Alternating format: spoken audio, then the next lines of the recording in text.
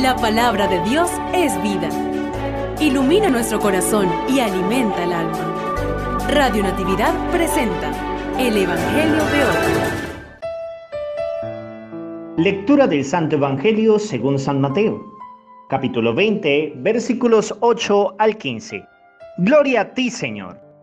Después de escuchar las palabras del ángel, las mujeres se alejaron a toda prisa del sepulcro y llenas de temor y de gran alegría, corrieron a dar la noticia a los discípulos. Pero de repente Jesús les salió al encuentro y las saludó. Ellas se le acercaron, le abrazaron los pies y lo adoraron. Entonces les dijo Jesús, no tengan miedo. Vayan a decir a mis hermanos que se dirijan a Galilea. Allá me verán. Mientras las mujeres iban de camino, algunos soldados de la guardia fueron a la ciudad y dieron parte a los sumos sacerdotes de todo lo ocurrido. Estos se reunieron con los ancianos y juntos acordaron dar una fuerte suma de dinero a los soldados con estas instrucciones. Digan, durante la noche estando nosotros dormidos, llegaron sus discípulos y se robaron el cuerpo. Y si esto llega a oídos del gobernador, nosotros nos arreglaremos con él y les evitaremos cualquier complicación. Ellos tomaron el dinero y actuaron conforme a las instrucciones recibidas. Esta versión de los soldados se ha ido difundiendo entre los judíos hasta el día de hoy. Palabra del Señor. Gloria a ti, Señor Jesús.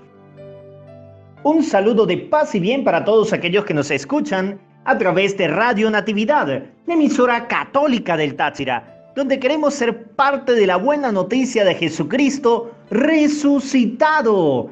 Y no solo resucitado para la vida eterna, para abrir las puertas del cielo, resucitado para cada uno de nosotros los que abrimos nuestro corazón al Señor. Hoy hay dos expresiones hermosas del texto de San Mateo. La primera, la gran alegría que llevan esas mujeres para dar la buena noticia a los discípulos diciendo las palabras del propio Jesús, no tengan miedo. El Señor los espera en Galilea. Y esto es importantísimo. El Señor quiere que ustedes y yo le encontremos. Y en contraposición aparecen la otra parte, los soldados que también salen corriendo, pero ellos asustados porque el Señor había resucitado. Y le dicen a los sumos sacerdotes todo lo ocurrido y empiezan a planificar una treta, una trampa, una mentira, un juicio, diciéndoles digan que se robaron el cuerpo, nosotros arreglamos con el gobernador y aquí hay una suma de dinero para ustedes. Y ellos tomaron el dinero y dice que esa versión se ha difundido entre los judíos hasta el día de hoy. Y es que la noticia de Jesucristo siempre se difunde de dos maneras. La correcta, la que llevamos desde la Iglesia Católica a través de las Sagradas Escrituras por más de dos mil años y la incorrecta que está llena de juicios, de prejuicios, de supersticiones, de magia, de fanatismo, de fantasía, etc. Querido hermano, ¿qué haces tú creyendo en tecitos, en amuletos, en supersticiones, en esto, en aquello, cuando la palabra de Dios dice no tengas miedo? Yo estaré contigo todos los días. Ni una hoja del árbol se cae sin mi voluntad, dice el Señor. Lo que te ha de pasar te pasa porque Dios lo quiere así para tu vida, para tu salvación. Acepta la voluntad de Dios, pero sobre todo lee la escritura, conócelo y síguelo.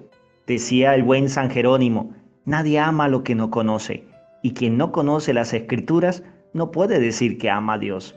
Si tú dices que amas a Dios y no conoces las escrituras, entonces te vas a dejar confundir fácilmente por cualquier teoría.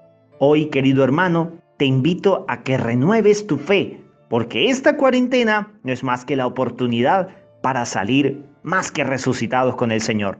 No olvides las etiquetas, los sacerdotes buenos somos más, y yo tengo un amigo sacerdote, hoy más unidos que nunca. Dios te bendiga. Gloria al Padre y al Hijo y al Espíritu Santo, como era en el principio, ahora y siempre, por los siglos de los siglos. Amén.